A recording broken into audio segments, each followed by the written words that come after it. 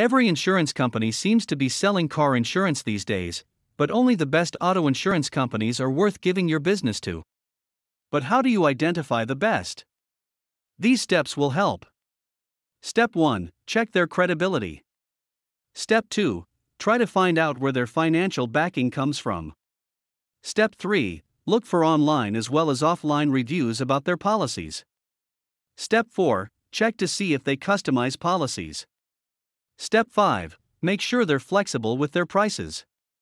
Step 6 See if their policies are clearly explained or seem sketchy. Step 7 Their claim process should be easy and fair. If the company you are buying insurance from checks all these boxes, then congratulations, you have found yourself the best auto insurance company. If you still haven't found the one, then let us help you.